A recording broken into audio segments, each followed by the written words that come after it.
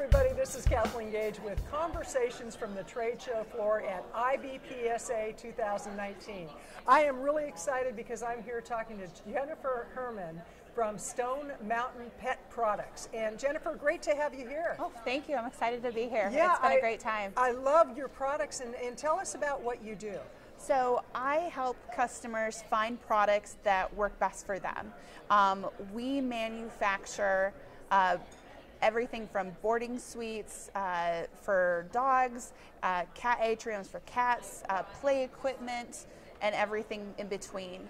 Um, one of the things that make us really stand out is we use it ourselves in our own pet lodges. We have two of them in Minnesota, not far from where we manufacture here in the United States. Okay, so. and how big are the facilities, your own facilities? Um, so they are oh, I don't even know the exact square footage off the top of my but head, but um, we can fit well over 200 uh, nice. dogs in each location. And you have all these products in And we locations. have all of them in, in each location. Um, and if anybody's ever in the area, I can give them a tour.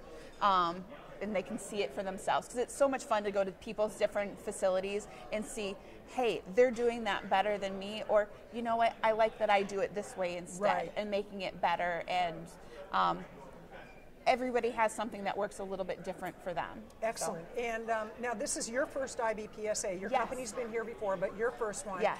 Oh, how's your experience? You know, it's been so much fun. I absolutely love getting to see people's putting a face to a name.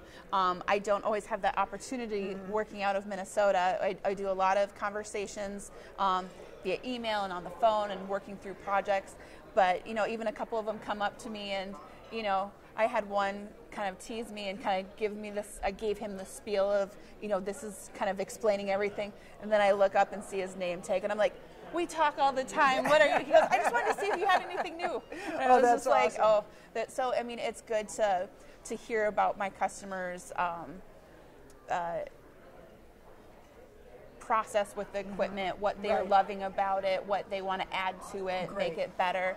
I had one come up and just start selling the equipment for me. I'm like, yeah, I'm going to have to get you sell. some commission on this too. So That's it's awesome. It's it's a fun time. Okay. Well, I love your products because I actually went in one of your cages and I had fun in there. I have to say. It did he get fun. that on, on uh, film? Uh, no, I, you know, yes, he did. He okay, did get okay. that on film. So okay. yeah, so it, it, yeah, we'll have that. Okay. We can put that on your website. Oh, that'd be cute. Yeah.